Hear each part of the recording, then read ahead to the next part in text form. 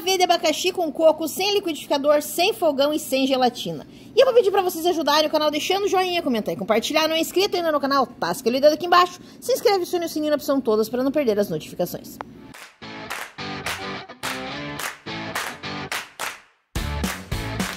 Vamos fazer a nossa torta gelada super fácil. Vamos precisar de uma lata de leite condensado e um pacotinho de suco sabor abacaxi. E vamos mexer até engrossar. Prontinho, pessoal. Bati aqui por uns dois minutinhos e olha como engrossa. Vamos acrescentar uma caixinha de creme de leite, uma garrafinha de 200 ml de leite de coco e um pacotinho de 100 gramas de coco ralado. Estou usando aqui os flocos de coco que eu acho mais gostoso. E vamos mexer. Prontinho. Vamos reservar.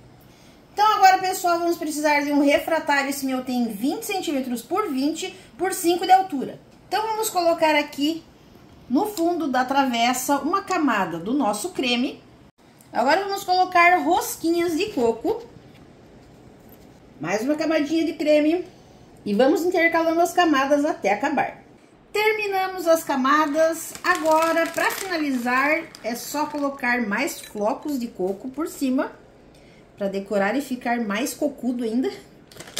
Prontinho, pessoal. Agora eu vou colocar na geladeira por pelo menos 4 horinhas, ou melhor ainda, de um dia para o outro, se puder. E tá prontinho, geladinho. Gente, espero muito que vocês tenham gostado. Beijão e até a próxima.